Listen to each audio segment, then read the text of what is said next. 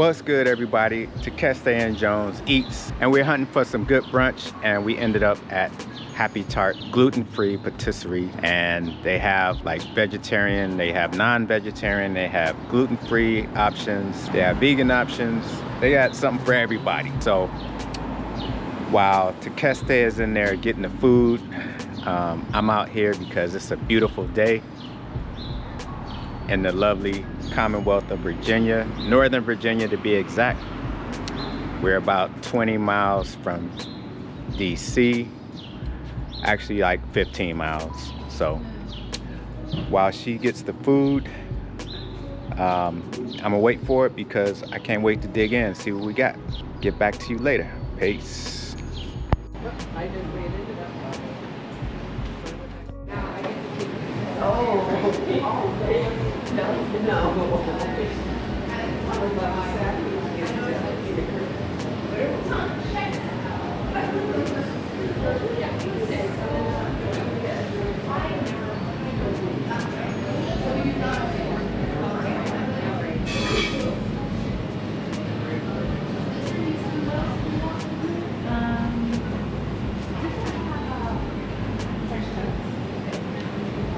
Okay.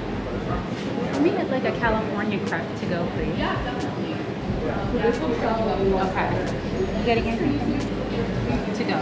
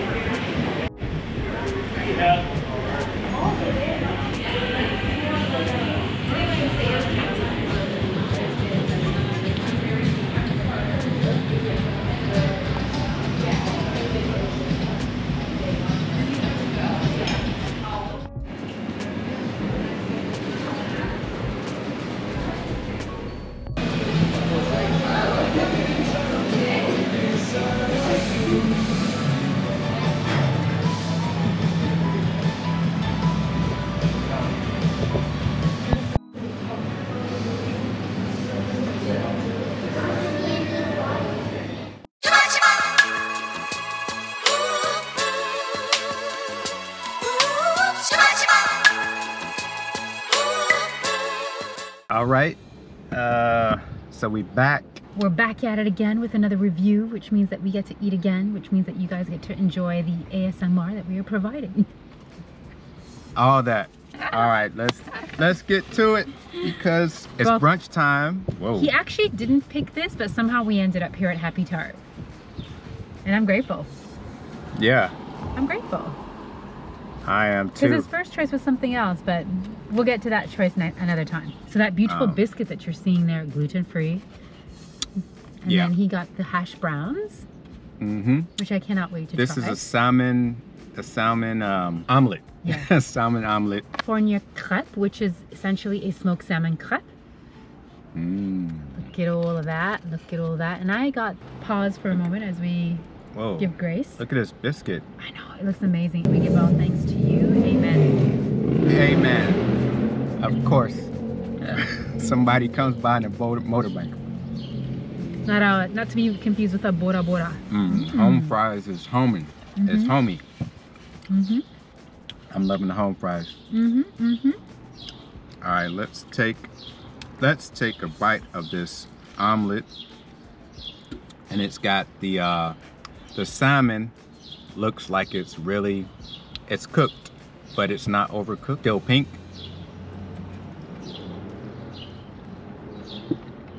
Mmm. Mm, mm, mm. Really? Yes, it's got um sauteed onions in there. I can see the onions. Mmm. The salmon with the onions, wow. It's a game changer. It's a game changer. I mean, it's like, isn't that like a lox bagel with lox when they put onions on it? Normally they're raw though. Yeah. They're So- raw in a bagel. Onions and um, eggs. You can't never go wrong with onions and eggs. And uh, there's some uh, what is this? Sour cream? Really? Some kind of cream in there. Hmm, interesting. That's good. I don't think it's sour cream. It's some kind of I cream. I don't think so. Although we do love to add our own home, homemade sour cream to our eggs at home. Mm. If you've not tried it, it's a game changer with your huevos rancheros. Mm-mm. Yeah, it's good. So I I opened up my crepe so that you could see some of the beautiful fillings. Look at that. Y'all see all that? Yeah, 10 out of That 10. looks good. It looks good. It's still a 10 out of 10. That's delicious. So good. My love, that's delicious. This is a good brunch. Let me feed you. That is delicious. Mm, mm, mm. Oh, you gotta try. Oh, this is like some cream cheese. That makes sense. This sauce is like a cream cheese and. Hold up. You gotta get a good bite. Mmm. Yeah. Yeah. Yeah, that's that works. Mmm. Wow. That's a good combination. But you make the best omelets. I reckon you should give this a go.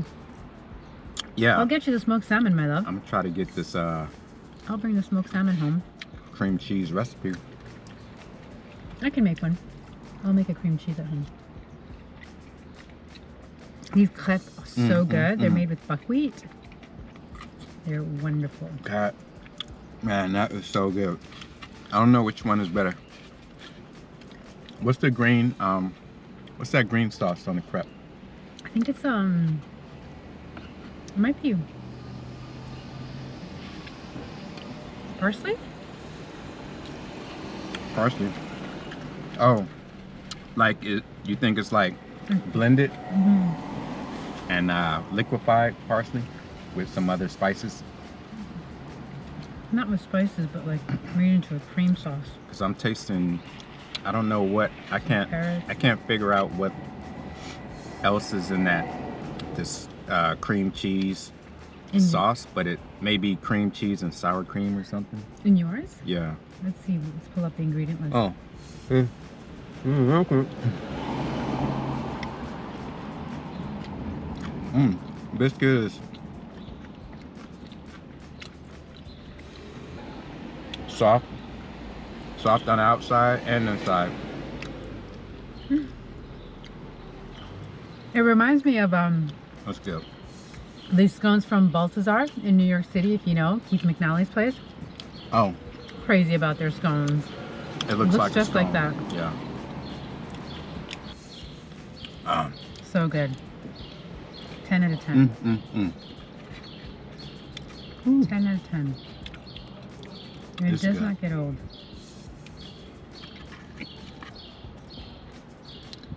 Oh, we're brunching. We're brunching today. We're brunching all right. Why can't I get pick up the menu? Hang on, guys. We can get the ingredient list. Oh, here we are. And uh, hash browns, you know, just hash browns. I don't know how they get this color. So yours is smoked salmon, caramelized onions, red onions, feta, and cream cheese. So it's Oh, both feta and cream cheese. Mine is smoked salmon, cucumbers, carrots, green onion, avocado, arugula. It's a pesto. It's a pesto, and then a cream cheese, a, oh, a swiss bechamel, and a balsamic reduction. they got bechamel in there. Wow, They do. I didn't. I a- didn't pick that up. I have to say. Oh, maybe that's what this is. This is a bougie. Uh, it's a bougie. Uh, yeah, just Mm, how we like it. Nice and bougie. Facts only. Facts only. no, we didn't. I didn't have. We didn't have breakfast. No, and it's it's And nearly three. lunch. Yeah. Yeah, that's good. Mm-hmm. It looks good. Um, this is the first time me having this this omelet though. Mm-hmm.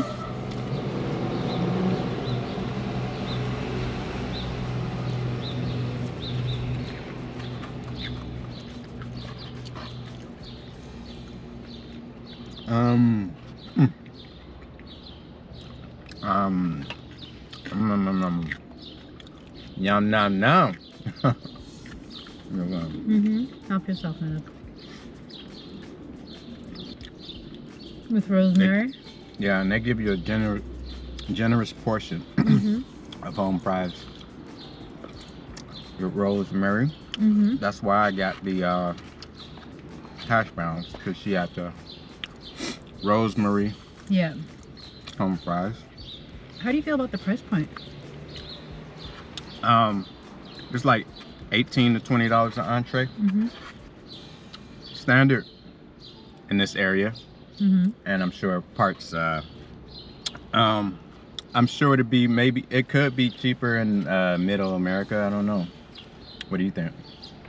I mean, for me, yeah. it's it's it's normal. Like, if you don't spend twenty dollars per entree somewhere, um, either the food is not that good, or you're in a low cost area. We're in a high cost area, right? Mm-hmm.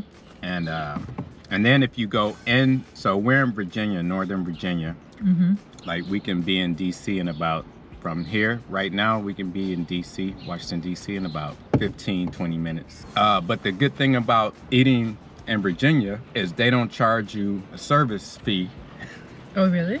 Yeah, Okay. you just get a regular your you know the fee and the tax. Right. In DC you got to pay service fee, Premium. yeah, and probably a 20% gratuity even if you take it out. Because we're paying for the cust- we're paying for the employees uh, wages. So the restaurant gets the money and then the customer pays for the, the wages. I mean i'm sure i'm sure there's other taxes that a business owner has to pay but still it's it's still weird. Still a weird concept even if you always tip Mm-hmm. I'd be curious. I'd be curious to know, viewers. How do you feel about that? Drop it in the comment section. Do you think servers and bartenders should be completely reliant on tips for their earnings? Or should the should the restaurateur, entrepreneurs, take the onus of paying their own employees a livable wage with um, paid sick, sick leave, pension, etc., etc. What say you? Put it in the comments. yeah i'm sure it's i'm sure it's two two sides of the coin because hmm the real estate and the rent in DC is just ridiculous. Right. Uh, Well, even here in Northern Virginia, but you know, True. it's hard. I think they make, I don't know, it's hard to have a, I think, a food business. Yeah. The margins are already quite low in the Yeah. restaurant world. But while we have them, we are going to take advantage of the of the food and the experiences. hmm So, um, but yeah, um, the omelet is, you know, the eggs taste fresh. They taste nice. They're fluffy, soft, not hard, not overcooked, not burned, not too brown. Mm-mm. They were wonderful. Yeah.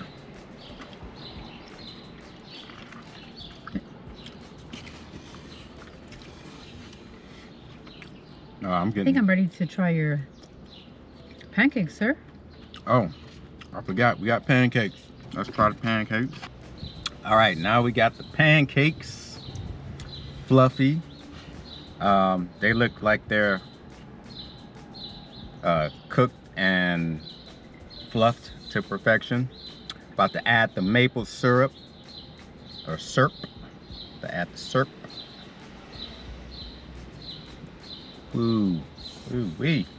All right. This little came bump. with a small fruit salad. What? Mm-hmm. That's service. Mm-hmm. All right, let's try these out, shall we? All right, let's do it. I wasn't even in the mood for pancakes, but when I saw just how fluffy, you know how it is when you see something Yeah. and it looks good. How many? This looks like three of them. Is this three or two? I think it's too big. Good sized pancakes. Mm-hmm. That's true. Mm.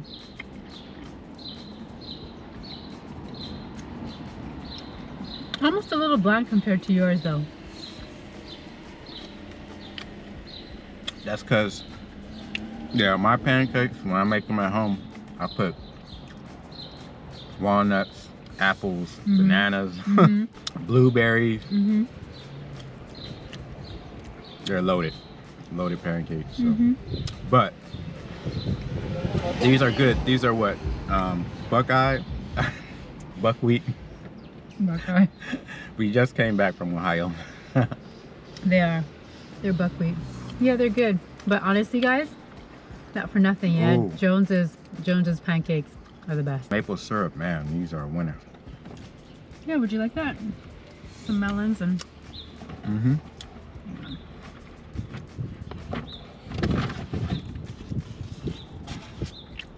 pineapple, I think. There we go. There we go. Pancakes, fruit, some melon, some pineapple. Never go wrong with melons and pineapples.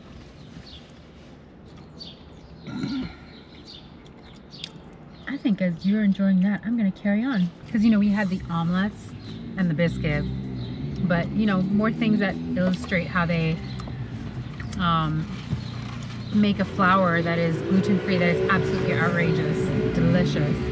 So this is their cranberry orange scone, right? We've not tried this before. We come here from time to time, but we've never tried this before. But today I figured if we try some new things because we're doing it for the vlog. We're doing it for you all. So this reminds me of the days when I used to have a coffee shop in Brooklyn and I used to get my pastries from Balthazar and their their scones were my absolute favorite. Back then when I used to eat gluten, I couldn't get enough of those. So let's see how this compares. Because Mm. Balthazar's I um, scones are no joke. We did slather this with butter. I did. Just the top one though. Mm-hmm. And a butter and a maple syrup. Mm-hmm. You know how pancakes are. Mmm. Mmm. It's buttery. Want to try it? Not too sweet. Dry. The way a scone's meant to be. Mm. Oh yeah. Mm-hmm. You bite into uh, like piece of sugar. Uh, what's that? Like it's chewy. The sugar cranberry? spot. Yeah. Oh, it's a cranberry. Yeah. Because the cranberry is like kind of um, it's like it's cooked with the sugar and the butter. Caramelized. Caramelized. Yeah, that's it. Caramelized. It's good, guys. That's good. It's not very sweet at all. It's dry, which in my opinion, scones are meant to be dry. Because then they go really nicely with coffee or tea, or if you add clotted cream or preserve. It's just enough sugar to make you know it's uh, scone. Mhm. I picked up another thing. Now this one, pecan pie, but as a tart. And the only difference is that um, Thanksgiving we get the chocolate and pecan. Now this Does is that just have the chocolate tart. in it? Oh. Mm-mm. When it's just the tart size, it's just pecan. But honestly, it's so good you don't even miss it. And then when you have the full size pie, and you bite into those pieces of dark chocolate, you're like, oh, this is a pleasant surprise. yeah. So either way, you're like in heaven. So we definitely have to do a video on the um, the pie, the actual pie. And we will come Thanksgiving. so we love this pie. I was never even a uh, pecan pie person Yeah. until I tried this one. And they use honey, guys. No fructose to sweeten, no sugar. I think um, the little bits up top that you're seeing are just crumbs. Yeah, they're from the scone. But those that's not like brown sugar or anything up there. That's just from the scone. But no, it's sweetened with honey. This is What the you think? really sweet to be like all natural sweetened. Mm. Like it's why do we even have to add more more like chemicals and additives and preservatives to make it sweet? Like just honey. Mhm. Oh, this is it's really good. It's sweet. It's Perfect. caramelized. Mhm. It's uh you taste all of you know the pecan. Mm-hmm. Um, Gorgeous. it's yeah. perfection. I got her into doing into pecans. Mm-hmm. always I even get a pecan nut butter now for the house, which I love. Yeah, that's some good. That's some Mhm. good butter. Mm. Instead of peanut butter, Mm-hmm. uh, pecan butter. Mm-hmm. Out of this world good. Okay. I can't say the pancakes for later. Okay. You have one more thing, sir? I'm getting full now. We have one more thing to sample. Keep your fork. Okay, what else we got? Opera cake and tiramisu. I think I'm going to try the opera cake first. So I've had the tiramisu and I didn't really want any sweets today. Any rich, rich, rich, decadent sweets. But What have you done with my have it. husband? Who are you? since we have it, You don't want a sweet. Wow. Look at the layers on this. These are all, it's like six layers. All right, here it goes.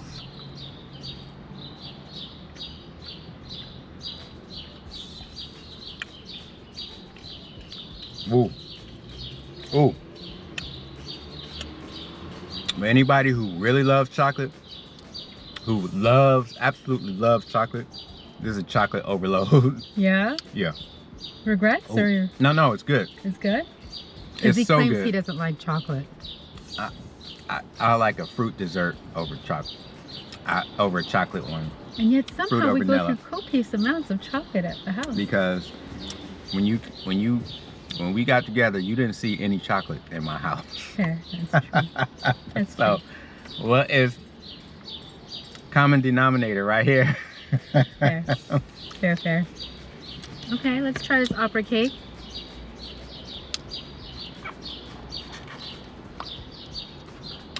I gotta lick the fork. I think I'm gonna have that with um Coffee?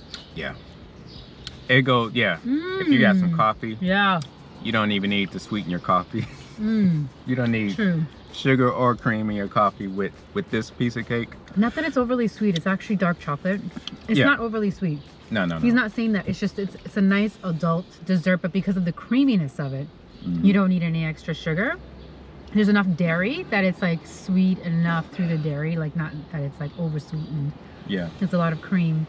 Can I be honest with you guys? This was some bun adana, bun adana, like some Sunday Oh, afternoon coffee yeah. from back home. This would be perfect, don't you think? Yeah. You could definitely gift this cake to the aunties Yeah. for Sunday. Yep. The when they're Sunday boom. roasting. Yeah, this oh they would love you. To be honest, they would love you for that. this or the tiramisu. I think both Yeah, of them yeah, would yeah. be beautiful. Either one, either one. Or shahi, Yeah. Even the yeah, tea? or yeah, or tea. Because we know habesha tea or coffee. but we know speaking of Habesha, maybe coffee. And but any Sunday. anybody else, any other African countries is gonna have tea. True. This is the tiramisu, guys. Oh, I didn't even show it to you all. Hold on. Let me show you all the layers. When I tell you this is, for me, the best tiramisu I've had in my life. For me. And I'm not even a fan like that, honestly. Hmm. By the way, side note, did you all know what tiramisu means? Quite literally, pull me up. Tiramisu. Pick me up before you go, go. Tira means throw in Spanish Mm-hmm, and Italian too. mm-hmm. Misu, I don't know. Pull me up. Oh, pull me up. Mhm. Okay. Bring me up, pull me up. Well, Ishe's definition of tiramisu means wet cookies. Because when I found out how you make it, that's the only that's the only thing that stood out to me was it's just wet cookies Mm-hmm. with some mascarpone Yeah, mascarpone. with some cream on top. Yeah. Espresso- You dip the cookies in the in the coffee and the espresso. Voila. I'm gonna give it but Italian food is simple but good. This tiramisu, guys, not being Um, funny. Um, you sure? it's worth coming, like, is worth coming out here for. Period. I think. Just the tiramisu. Everything else has also been equally great. This is so good, however, that even just this is worth coming out here for. Yeah. I got my my sweet cake, my chocolate cake, my coffee. Mm, mm, mm. Mm, mm, mm. Yeah, so you can't you can't you can't beat you can't beat this brunch No. This brunch Sweet, spot. savory, Yeah. gluten free. And the beautiful thing about this tiramisu is it has just the right amount of um, cacao up top, meaning you're not going to choke on it. You know how if they put too much cacao up top, you choke on it. And at the bottom, just Oh. enough coffee, Yeah. right? Just the amount, just the right amount of coffee. Beautiful. So it's nice and like moist. Really, really nice. Really, just beautifully done. I remember seeing that on an episode of uh, Come Dine With Me. He made tiramisu and like just all the chocolate dust. Mhm. It was just too much. Mm. I never heard of too much, but they was like choking on it. Yeah. so. No, I've had I've had tiramisu that's got way too much cacao powder that it makes you choke for sure. Mm. It's really hit or miss with with um tiramisu. It's hit or miss with a lot of food though, to be honest with you. Um, I'm satisfied, so I'm done eating. How about you, my love? Yeah. Um, that's a good thing to wake up to. Got Even out of we bed got here at two o'clock. we got here at two o'clock today. Um, Well, to be fair, it took us what about 40 minutes to drive here. mhm. we were being leisurely. Yeah. Sunday brunch. Um, with you guys wanted to bring you on this brunch adventure. Mm-hmm. So now it's time to rate It's the whole ex- whole experience. Mm-hmm. Um, Well- yeah, I gave it a eight out of ten. My omelet, excuse me, my um, crepe was perfect. The pancakes were beautiful. The cranberry scone, delectable. The pecan tart, amazing. The tiramisu, perfection. So, and even with the price points and all, I'm going to generously give this place a seven and a half. I would have given it an eight if the price points were better. I know it's not their fault. Uh, but But we're impacted by it because we have to pay. Right? yeah, well, I, I I think um the price point. Yeah, because I was fully expecting to spend a hundred dollars for brunch today, and we was under that. But also, we didn't order any drinks. We brought our own coffees from home. We Ah, have our see, own water. Voice of reason here. Uh, but nonetheless, seven and a half because everything tasted amazing. Um, and I highly recommend it. What would you say about? Uh, Yeah. Because I guarantee you, next week you're gonna be like, No. why didn't we get more tiramisu? Nope. Not coming back till November. Not until it's time to Uh-huh. place my order for Thanksgiving. mm, you, she's gonna be talking about, AKA, that's gonna she's gonna be talking about I'll talk tiramisu until we get some more, and that's gonna be way before Thanksgiving. I already know. Anyway, that's it. Is that it? Yeah, so your final score was an, Mine is uh, eight, and mine is a 7.5. and she's always, um, yeah, she's not as as uh, forgiving. I don't know. Our our palates, hers more refined than mine. No, it's, it's all subjective. No, yeah, yeah. No, I the get, food was give it eight. amazing. No, the It's food is honestly just the prices. It's like that omelet alone was twenty dollars, right? Like just, Just the for the omelet. omelet. This is what I'm saying. I the didn't even food, know that. If, I wasn't ranking or if I wasn't um, adding the cost of the food and I just looked at the food, I'd give them a nine. All right, y'all. With that, uh, With that being said, get free and stay free. And stay decent, folks.